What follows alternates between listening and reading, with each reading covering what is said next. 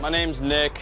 I work on a 43 Freeman. When we built this boat, we basically got it covered with ceramic from Ceramic DNA. They had uh, the whole boat done from the rub rail in. We did all the cushions, your isinglass, the electronic screens, and our windows. Basically everything except the hulls of the boat. It's been a really awesome thing to have on the boat. Cleaning the boat now is just way quicker process. We rarely use soap. When we do have to use soap after it gets really, really bloody, we use either detox or fresh uh, lather. I prefer the detox because it gets a little bit foamier in the, uh, the foamer that I use, but they both work really, really good. If you guys have anything that's hard to get off the boat while you're cleaning the boat, you guys can use the, uh, the Cleanse product.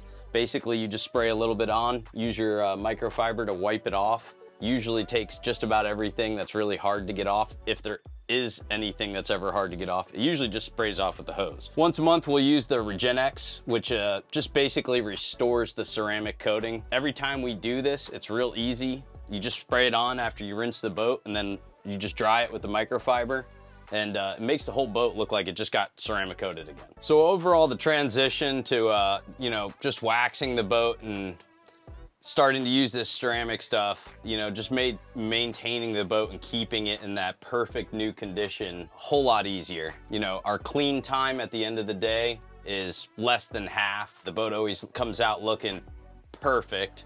And you know, over the last year, it, the boat looks better than it does when it was brand new. If you guys wanna keep your boat as nice as this one, reach out to Ceramic DNA.